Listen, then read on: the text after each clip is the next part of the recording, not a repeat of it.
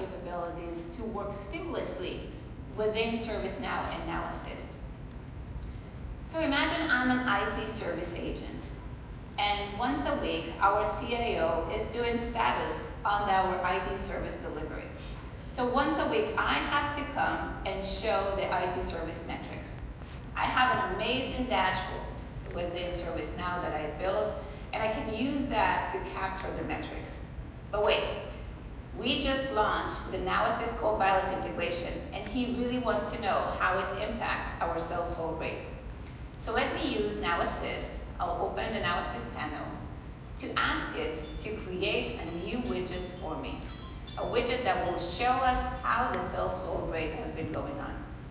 So I can really just ask, add a data visualization on the top row that will show how, how many conversations have been self-solved. And just like that, now Assist understands the text and is able to convert that to a data visualization in this dashboard so I don't have to do all the heavy lifting. So that's great. So we see we have 73% self-solve rate. It's been up 28%. He's going to be so happy. So now I can ask Assist to help me create a presentation because I cannot just come with a screenshot. It can send the data directly to Microsoft Copilot, and it can ask me which metrics do you want me to include. I can just ask everything in the top row.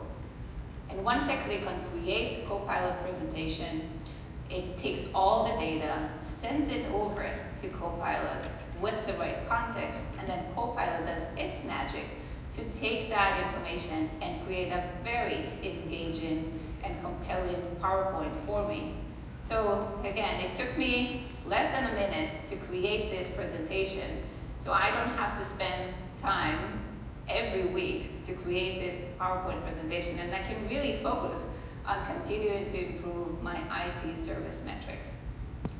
So as you've seen, this is amazing, and we're very excited about the partnership and about the value that this will bring to our joint customers.